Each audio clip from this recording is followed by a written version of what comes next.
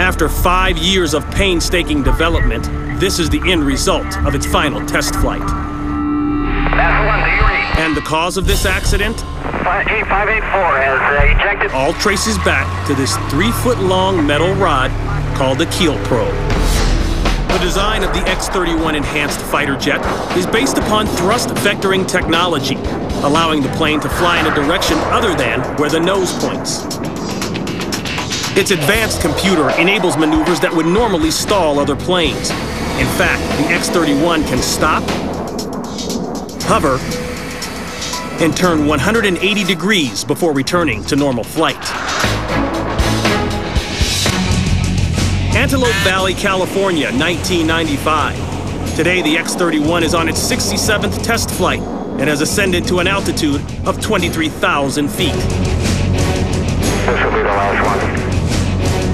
Yeah, I know. Then, as the pilot performs a series of tests in conjunction with ground control, he notices an anomaly on the X 31's computer.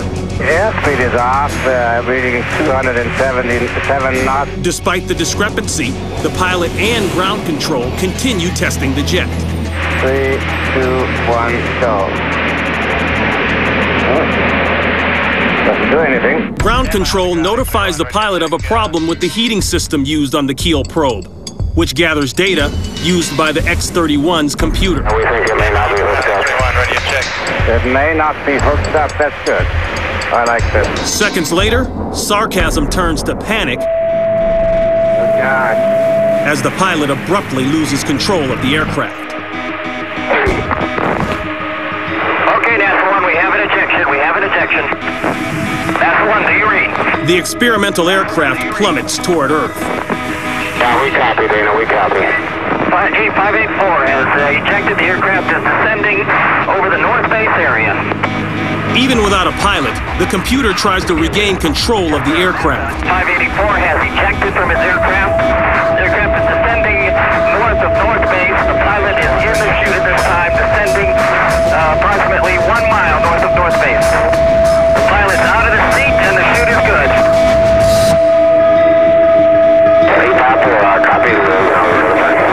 Maneuvers the X 31 into different positions until.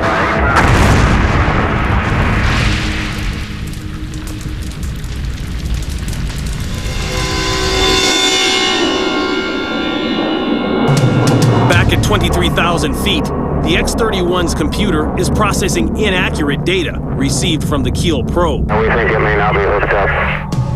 It may not be hooked up. The pilot struggles to maintain control of the aircraft, but the computer overrides his commands and sends the X 31 into a vertical climb. Oh, God. With no control, the pilot is forced to eject. Okay, that's one. We have an ejection. We have an ejection. 76 seconds later, the X 31 is destroyed.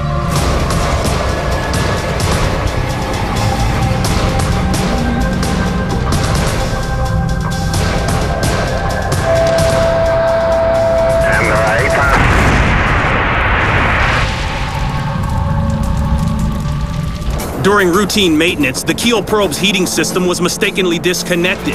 It gradually became covered with ice, causing the inaccurate readings that led to the crash.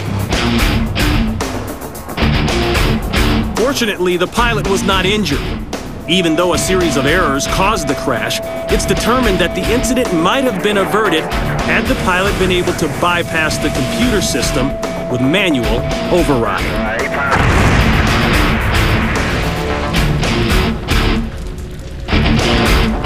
I'm Ron Pitts, and we'll see you next time on Destroyed in Seconds.